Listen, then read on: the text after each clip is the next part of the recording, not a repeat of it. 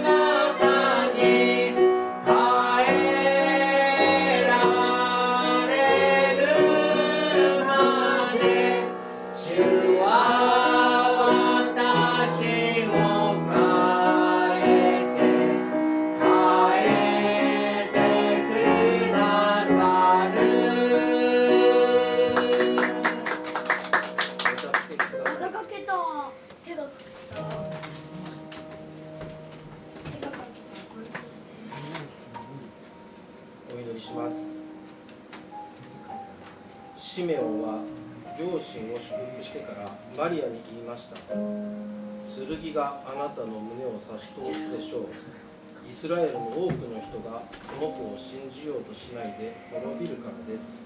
しかしこの子によって大きな喜びを受ける人も大勢います。こうして多くの人の隠れた思いが表されるのです。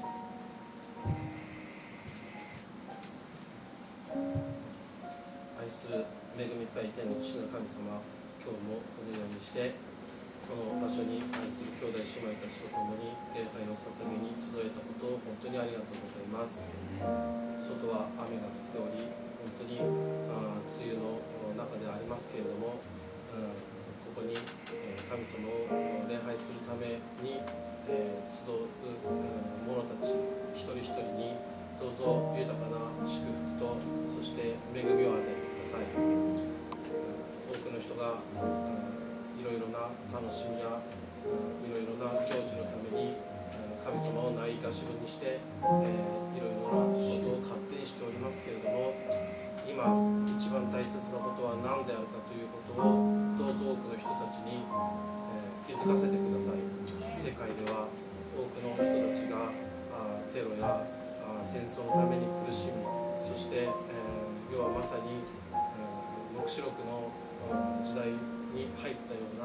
ところがあります。多くの人たちに、えー、今何を大切にすべきかということを今一度気づかせてください。そのために私たちはあどうぞ伝道することができますように年が良くても悪くても、えー、恥ずかしいとか何とか言っている前にどうぞ行動に起こさせてください、えー、そしてこの礼拝がどうぞ各地でも開かれておりますけれどもその各地での礼拝それからインターネットを通して忠実に礼拝を守っている。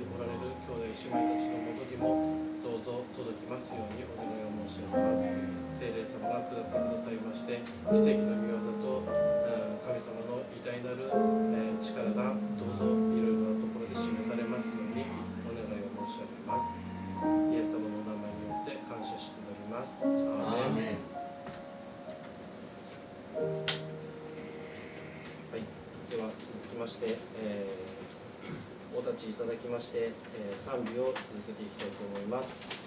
えー、歌集の9番10番それから賛美歌の465番で賛美していきたいと思います。うわーすごい。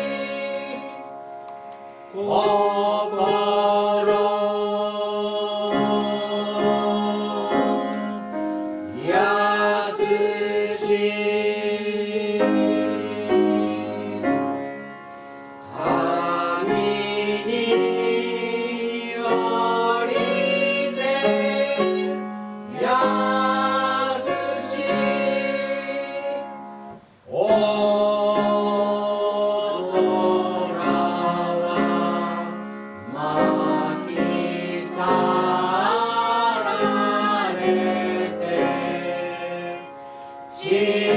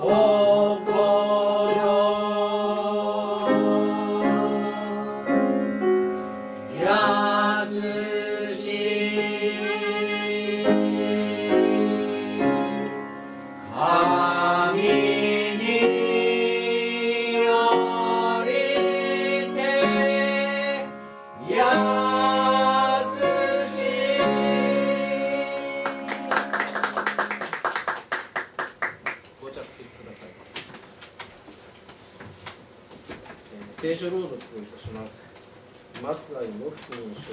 10章の1から4節マタイの福音書10章1から4節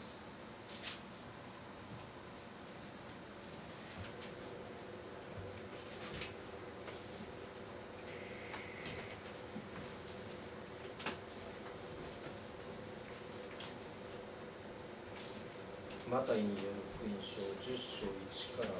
4えーそれでは司会者の方で読まさせていただきます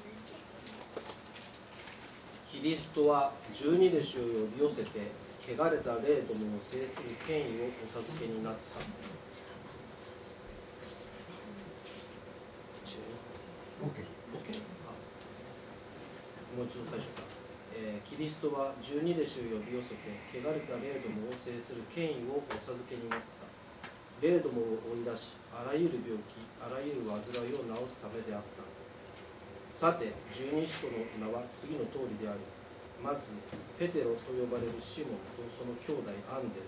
ゼベダイの子ヤコブとその兄弟ヨハネピリポとバルトロマイトマスと主税人マタイアルパヨの子ヤコブとハダイ熱心党員シモンとイエスを裏切ったイスカリオテユダであった。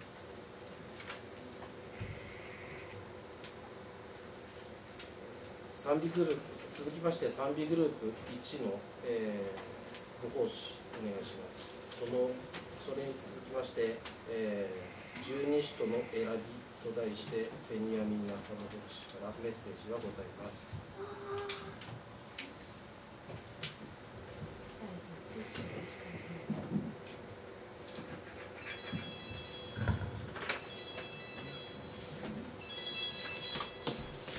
今日は聖歌の291番「いさもろともともろとも超えたからかに」というと坂本先生にのとによるとメンテルスゾーンが曲を作ったこの曲を演奏させていただきたいと思います。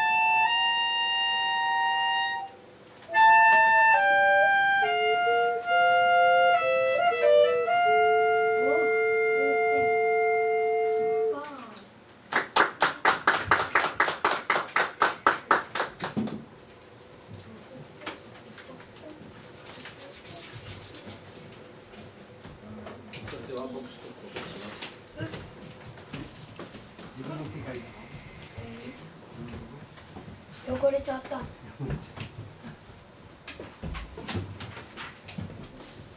い。それではもう一度ご起立ください。二曲歌詞から歌います。三百三十六番、三百三十五番、二曲を歌います。